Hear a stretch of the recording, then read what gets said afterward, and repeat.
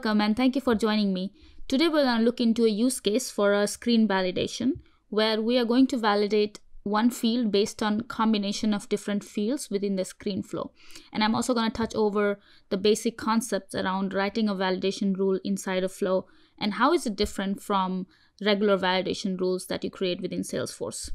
All right, so let's get started. First, I'm going to show you the end result. So, so we're going to work backward from it and kind of understand the concept behind the validation as well.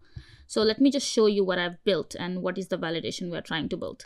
And you can recreate this inside your org um, because I'm not using any fields. So you can just create text inputs and build this. So I'm just going to run this. We're going to ignore this first screen, but go jump into the second screen, which is a simpler version. So here is the requirement. I do not want to fire any validation until some other fields are selected. So basically my validation is going to be around Rx outside tier, this, this field right here. But I don't want to fire it without anything else being selected. So if I just go in and hit next, nothing is going to fire. This is what I want. But let's say if I put here standard and if I select a pick list value test one, and if I just say 50, then it should fire a validation. And basically the reason it's firing is because I have a very specific requirement that they need to put this in a certain type. So my type right now is it needs to be the 50% or a thousand dollar. So if I put percent, then hopefully it should not fire the rule and that is good to go. Now if I go back and if I remove everything from here and delete this, then also it should not fire. If I just put 50% and not add anything else, then we are good to go. So as you can see, we are building logic based on other fields that user is inputting. And these are, by the way, not fields. I just created some inputs within the screen just to show you an example, but this can also work for if you're bringing in fields from Salesforce as well. Now, let's take a look at the flow itself first. So we're going to ignore this first one, just focusing on the second element uh, or screen. So these are the three fields just to show you from the background. We have a text field, we have a pick list field, and this is the field. It is also a text, but I am making them add certain values. It should be a dollar symbol, thousand or 50%. So that is my requirement. Now, how is this different from validation rule? So in validation rule, you always try to put the rule which is the opposite of what you want it to be so that the error will fire. For example, if I want the user to put 50%, then my validation will say um, Rx outside tier is not equal to 50%. So what's going to happen is if the user does not put 50%, you get the error. But in this case, in the flow, flow validation, the it's actually exactly the reverse. So if you want the users to put 50%, that is what you're going to put in your validation uh, formula. So, so validation is composed of two elements. One is error message and the other is the actual formula. And I highly recommend to use a text editor. You can install Visual Studio or some sort of, or even Notepad++ to use that to build your formula. Otherwise, it gets really tricky to like navigate here and it's just lots of scrolling and you end up making a lot of mistakes with commas and brackets and things like that. So as you can see here, I used exactly what I want user to enter. So what is true requirement, that's what you put it here. So if they if you want the user to enter 50%, you have to put that here. It's not not equal to. So just the uh, some conceptual difference between validation rule and the flow validation. Um, so another thing, and I'm gonna copy this whole thing into an online editor for simplicity so that we can all look at the formula. Before we even write the formula, let's look at what is the expectation for this formula. This formula actually needs to return true or false. It's in the documentation, which I'll share the link for. But basically, this formula is expecting either true or false value.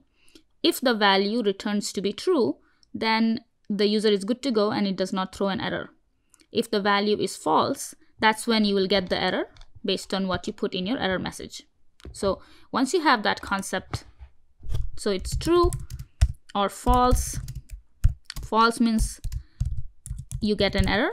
True means you don't get an error.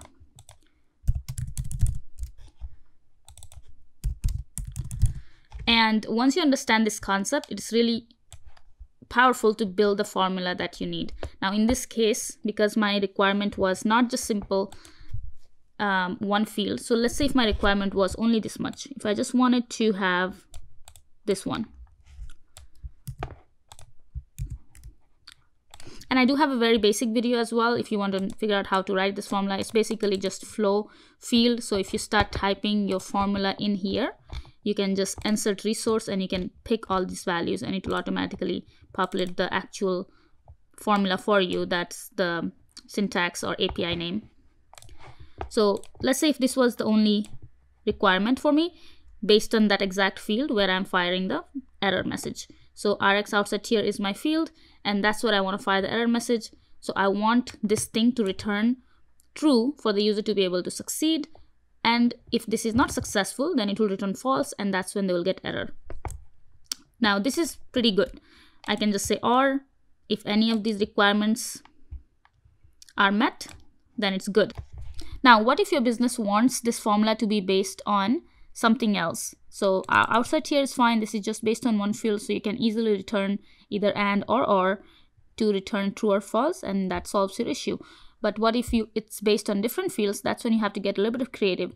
Here I used an if because I know that if can return true or false. So just for a refresher, if maybe there will be condition and if that condition is met, do this and it can be anything. It can be i can say make it true or false or anything i want because in this case the return requirement is true or false. I'm just putting true or false here.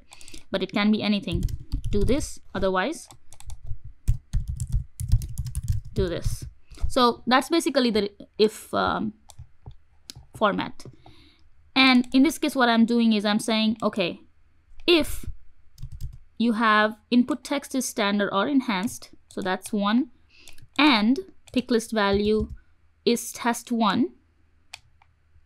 So that is my uh, first condition that only if this happens fire this validation rule basically. So if this happens then only check for rx outside tier value. So now this is my do this condition. Okay? And then if it doesn't happen so if they don't select any of these then just make the formula to true, which means don't validate anything because it is true. So let's let them pass through. And that, that is the concept. Once you understand this part, you can make the formula do anything to return true or false. And that's how you can actually do it. It could be anything else. If they want more conditions, you can add more conditions underneath here and then make it true or false like that. So I hope this makes sense. Try this out on your own and sometimes formula is really easier once you actually do it yourself so and just make sure of the brackets that you're using. And so that is pretty much the concept around building logical formula um, validation rules based on other fields. Hope this was helpful and let me know if you have any questions. I'm happy to help. I'll share this code with you. And basically just to recap the screen flow is just three text here three text um, two text and one pick list value. So you can build this out yourself and try it out.